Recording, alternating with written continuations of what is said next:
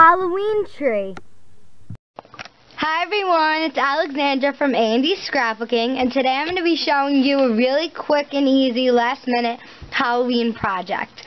So I found, I went to Michael's and I found this Creatology Halloween mini spooky tree. Now this was $2 and um, I thought it was really cute. Like it was a foam tray and stars and bats and I actually already used up like almost all of the stars and the moon on a scrapbook page and I used the bats on a scrapbook page too and they're really really cute to use. And I love using foam accents because they're really easy and they add dimension and things like that. So with the actual tree I was thinking of doing a project with it and yeah. So it basically comes in two pieces. And you could even make this yourself but I figured I would buy it and then um, trace it onto a piece of cardstock. And next year I could use like if I wanted to make two I could use it as a stencil. So if you wanted to do your own using something like a similar idea you could. Because all you need to do is cut a slit on the bottom of one tree and a slit on the top of one tree. and then easily goes like that to give a really cute three-dimensional tree. So today I'm going to be decorating this tree and I'm going to be making a base with little 3D ghosts and this is something really cute to put on like uh, a little table by your door so when the trick-or-treaters come around you can um, you can they could see it and they'll be, they'll think it's really cute. Also, I forgot to mention that it comes with this cute little like 3D um, cat. I don't know. It looks like this and it's like really thick foam. I'm gonna I think I'm gonna incorporate that somehow. But maybe get rid of the pumpkins. I don't know. So anyways, I hope you guys all enjoyed this video and here we go.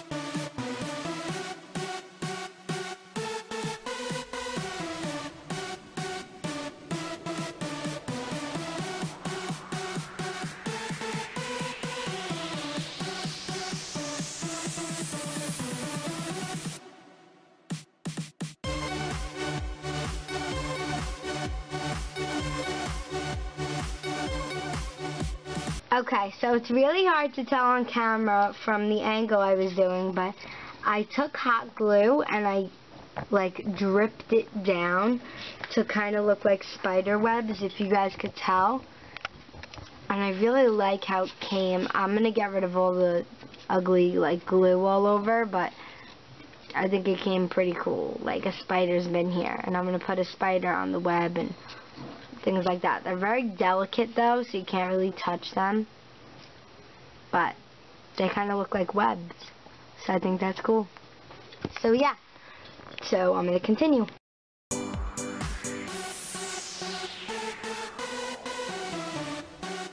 So I just took these beads and I glued four sparkly pipe cleaners um, to them so they're like a sparkly spider.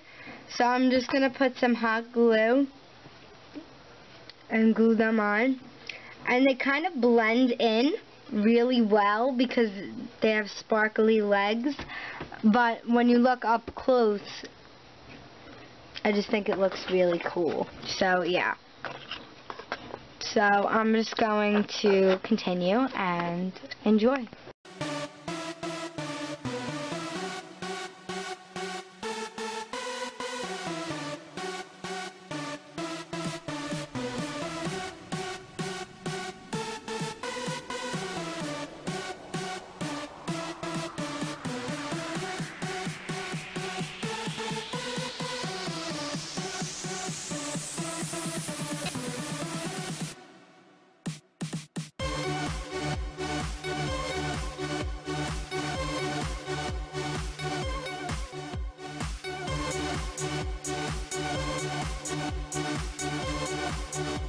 Okay, so while I set this aside to dry, I'm going to be showing you guys a really cool trick.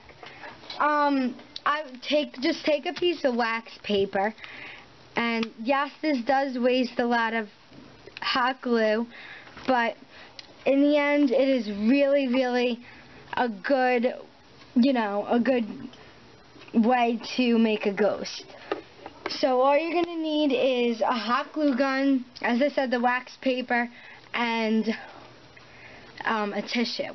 Now what we're going to do is we're going to wait for this to dry and then add another layer until we form a hot glue ball.